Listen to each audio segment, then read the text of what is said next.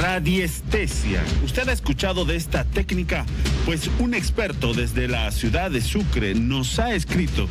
Hemos tomado contacto con él para que nos hable de esta especialidad. Y es que esta técnica podría ayudar a encontrar a Dailin.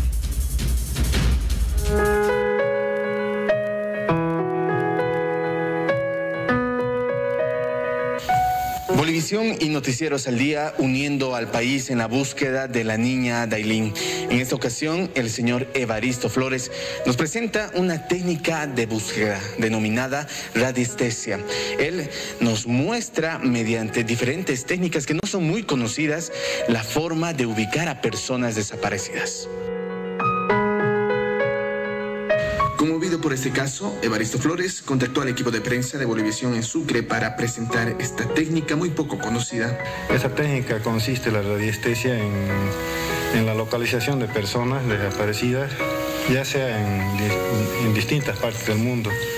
Desde cualquier parte del mundo se lo puede localizar. Para esto utiliza instrumentos como el péndulo, varillas que ayudan a la estimulación de la conciencia de los sentidos, con el nombre de la persona desaparecida y un mapa que incluso puede ser utilizado en la aplicación de Google Maps, asegura que se logra localizar a desaparecidos. Eh, la técnica consiste en una energía que tenemos las personas en el cuerpo, que es una energía positiva, y la energía y la Tierra tiene una energía negativa.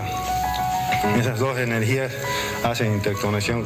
Digo, la niña de nombre tanto está, está aún con vida, pero teniéndolo la foto en, en mi mano.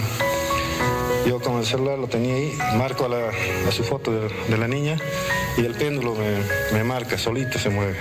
Todo un país se moviliza para encontrar a la pequeña Daylin. Eh, como yo soy padre de familia también y al ver la, las noticias de Bolivisión, en todos los medios que, de la niña que fue raptada por esa señora, eh, me conmovió.